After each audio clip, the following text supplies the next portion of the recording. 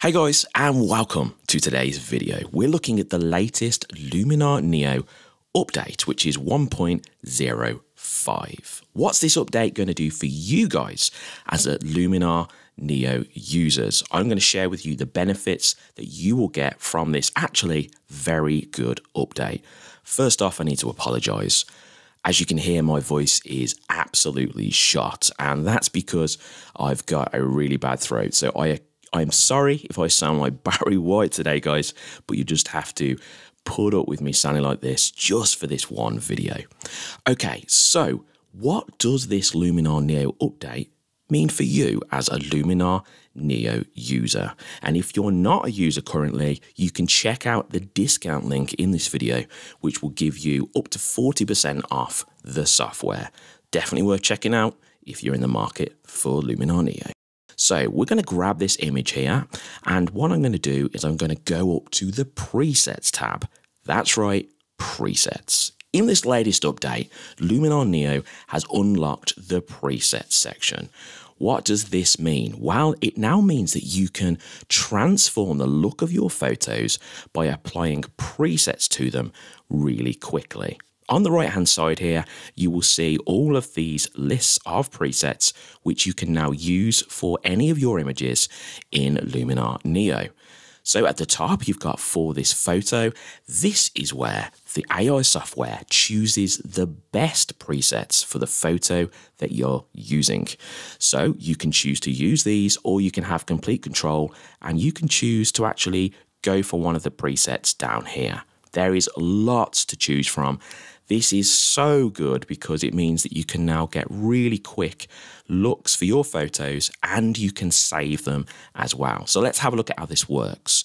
If we just go ahead and choose the for this photo option, which Luminar Neo has chosen for us, we'll click into this and we can see that there is a list of presets inside Easy Landscapes collection. Let's just grab one. Uh, let's go for clean light and apply this to the photo. Now this preset is actually nice and subtle. It's just added some more exposure, some contrast and vibrance into the image, and it's just give it a bit more punch. This is the before and then this is the after.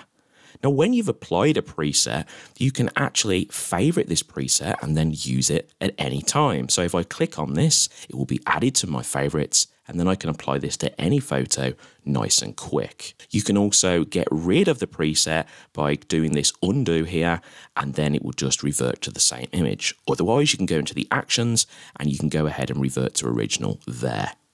Now, one of these really cool features that you can now apply using the presets is you can actually go into the Edit tab, click onto Edits next to Tools, and then you can see all of the parts which make up the preset. So each one of these settings or options has been used to get the preset looking the way it is.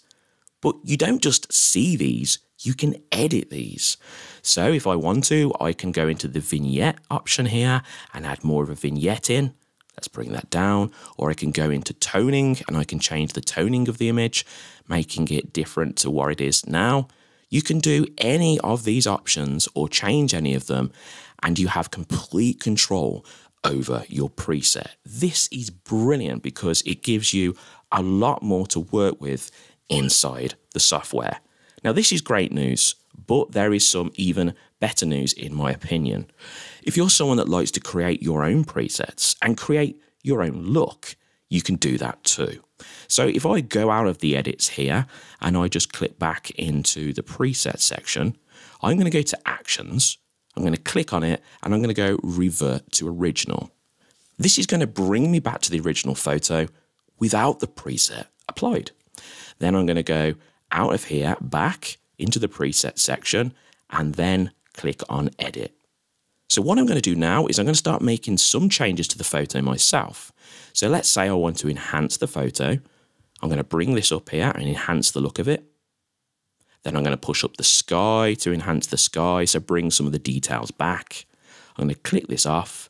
Then let's say I want to change the colour of this grass here and I want to make it a little bit more yellow. So I'm going to bring the hue green level down to make it more yellow looking. So Let's say this is the desired effect that I want for my photo. What I can do now is I can click off the colour, I can come down to actions, and look, I can press save as preset. This means you can create your own presets. So if I save that as a preset, so what I can do now is I can add this to favorites. My preset is now in the favorites, and then I can choose this to add and apply this to any of my photos right at the start.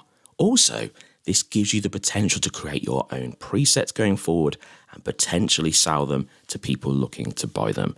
So this opens up more opportunities for you as a Luminar Neo user. Guys, I'm really excited about this update. I'm looking forward to all of the updates that Luminar Neo are going to provide us with in future. I think this has been a great update from Skylum, especially what they're going through currently in the Ukraine as a Ukraine based company. We all know the atrocities that are going on in that country, and my heart and thoughts go out to them and their families. A big thank you to Luminar for actually producing these updates for us, and they've said they will be able to continue doing this, and I think it's because they're moving their operations elsewhere.